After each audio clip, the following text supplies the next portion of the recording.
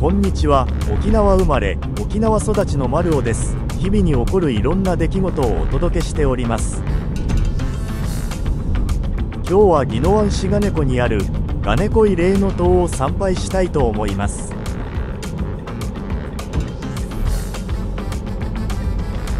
米軍基地で有名な宜野湾市です。ガネコといえばガネコ十字路くらいしか印象がありません。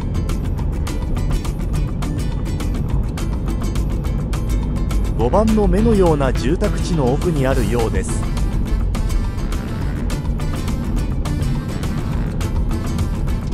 近くにガネコヒージャーガーもあるようなのでついでに見学します。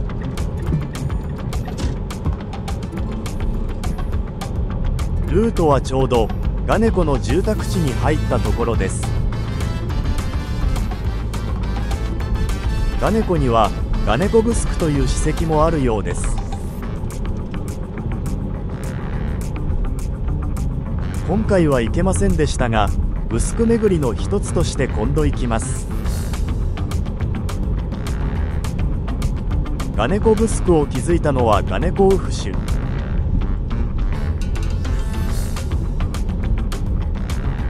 ガネコウフシュは中山王国最後の王ブネ王の三男とのことです。小王党以前の琉球の歴史についても興味深いです。ブネ王の父親の薩東王は森川公園の羽衣伝説で有名です。奥間ウフヤと天女との子供として生まれたジャナもいる。後に活連味の娘と結婚して勢力を伸ばします。最終的には薩東王として中山王となりました。伝説として語り続けられてるおかげで多くの人が知ることになるのかもしれません。そろそろガネコ公民館の案内板が見えてきました。無眼樹のような建造物があります。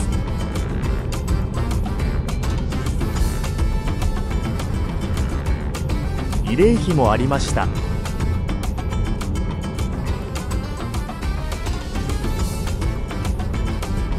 この先にガネコヒージャーガーがあるようです。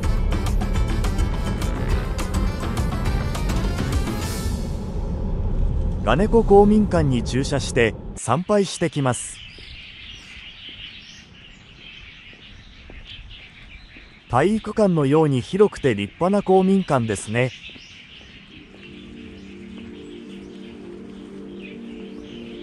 公民館の建物だけじゃなくて広場も併設されています。案内板もあるので見ていきましょ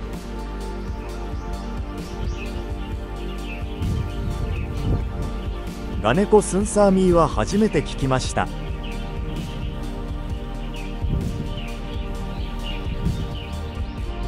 ガネコグスクをはじめいろんな史跡があるようです。時間があれば全部回ってみたいのですが今回はガネコヒージャーガーだけですね。この左の塀の中に慰霊碑があります。慰霊碑の横には立派な右岸樹があります。ここで祈りを捧げてるのでしょう。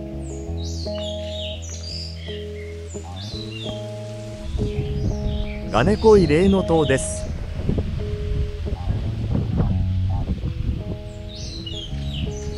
戦没者のお名前が刻まれています。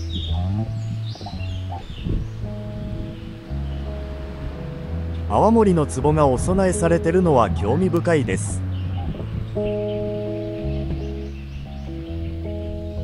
横にも戦没者のお名前が刻まれています。後ろにも戦没者のお名前が刻まれています。となるとやはり前面に戦没者のお名前が刻まれていました。沖縄県慰霊碑一覧によると463名の御霊が合祀されています。ガネコでも多くの犠牲者が出たんですね。とてもきれいに整備された慰霊碑でした。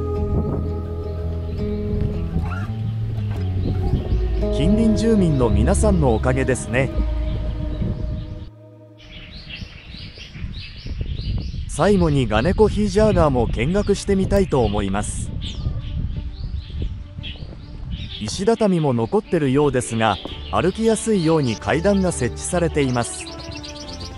帰りは石畳から登ってみます。かなりの年代を感じる史跡です。今でもわずかですが湧き水が出てるようです。昔のにぎわってた様子がよくわかるイラストですね。作られたのは1982年ということで意外と最近ですね。区民総出で半年の月日をかけて作られたそうです。住民同士が集まって情報交換する場所にもなってたんでしょう。石畳も歩けるようにしてくれてるのは嬉しいです。重い荷物を抱えて何度も上り下りしたんでしょうね。私は一度だけで十分です。最後までご視聴いただきありがとうございました。